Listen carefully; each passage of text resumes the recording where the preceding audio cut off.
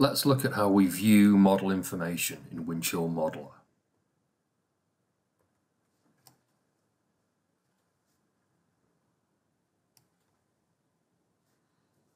So opening models, this can be done directly from inside the Windchill Modeler application, as shown in the screenshot. We also have a dedicated separate app called Model Explorer, and essentially it's the same user interface that allows us to view and manage models.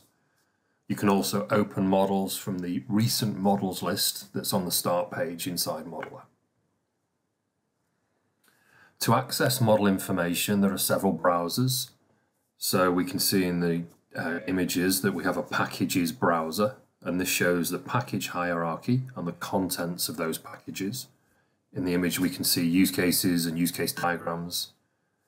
We have a diagrams browser where we can see diagrams of specific types. In the example we can see block definition diagrams and this provides another way to easily locate information.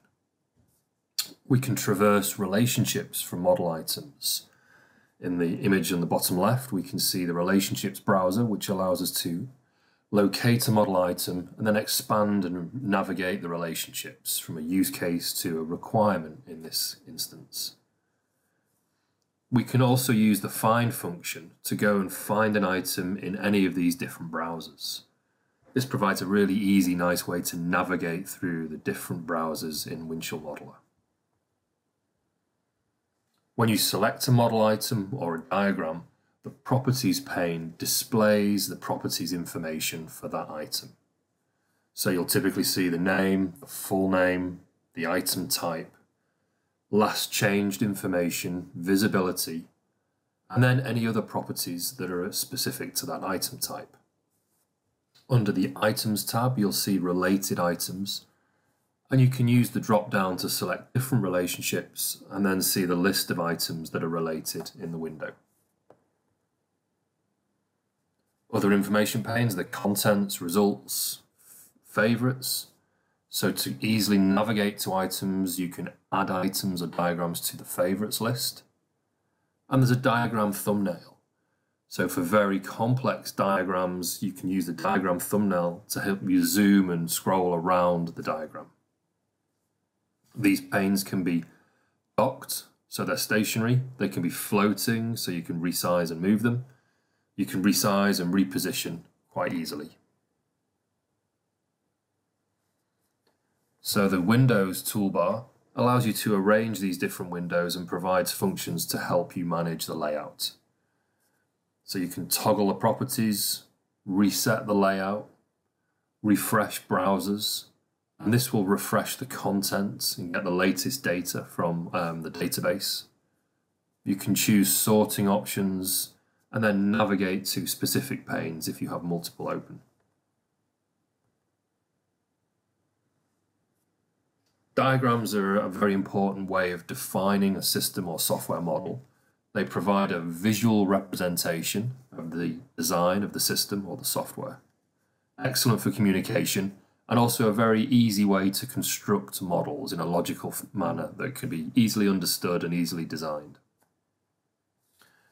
So we have several different tools for to help users work with diagrams, diagram specific toolbars, the view toolbar where we can apply things like diagram filtering, view options, we can print our diagrams as well.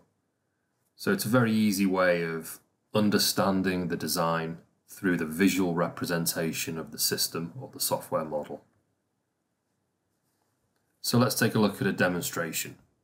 We'll open a model, resize some window panes, move and relocate them, reset the layouts, look at some properties, and then look at a diagram.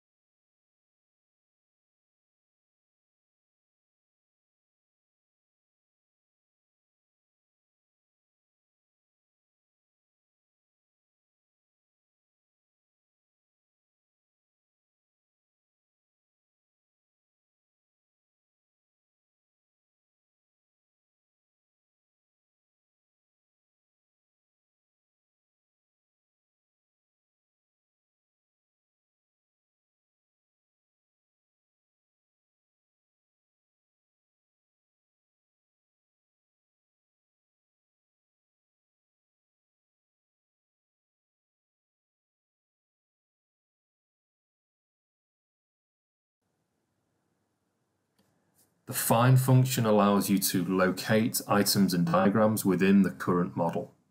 There are different param parameters that you can specify. You can filter on specific types when things were changed. Another way to help us locate information in Windchill Modeler the user roles feature.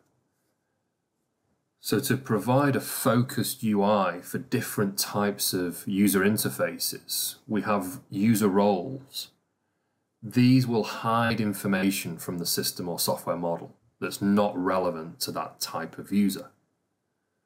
So in the example we see here, there's a requirements author. Well, this type of user will need to be able to see and manage all of the requirements type information they may not be so interested in some of the system model information such as blocks, ports, activities. So that kind of information can be hidden from those users. That way they'll see a very streamlined experience when they browse the model. We have keyboard shortcuts.